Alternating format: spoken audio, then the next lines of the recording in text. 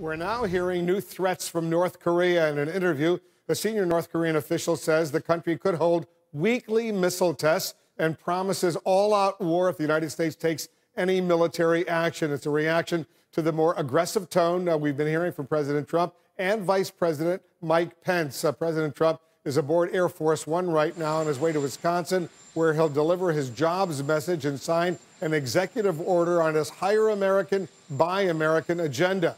But uh, President Trump is also talking today about North Korea and his strategy of secrecy.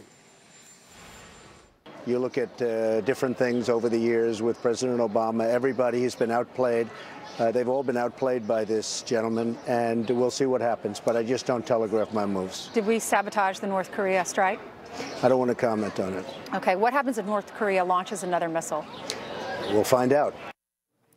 Vice President Pence, uh, meanwhile, is continuing his, his, swing through Asia today with events in Japan. He was in South Korea yesterday. Uh, today, he talked with the Japanese Prime Minister Shinzo Abe about uh, the need for the United States and Asian allies to stick together and keep up the pressure on North Korea. And in an exclusive interview with our own Dana Bash, who's traveling with the Vice President in Japan this morning, uh, the uh, Vice President echoed the President's take on a nuclear North Korea as the president says, it's time for them to behave, to listen to the world community, and to set aside their nuclear ambitions, their ballistic missile ambitions, uh, and uh, and be willing to join the family of nations. And uh, uh it, for for my part, uh, in some odd way, it's encouraging uh, that they're getting the message.